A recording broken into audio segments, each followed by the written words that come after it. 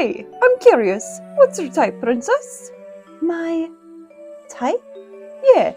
What kind of qualities do you like in a lover? Hmm, let's see. Heroic, handsome, sweet, short, oblivious, brown hair. Kinda sounds like me. Too bad we're just friends.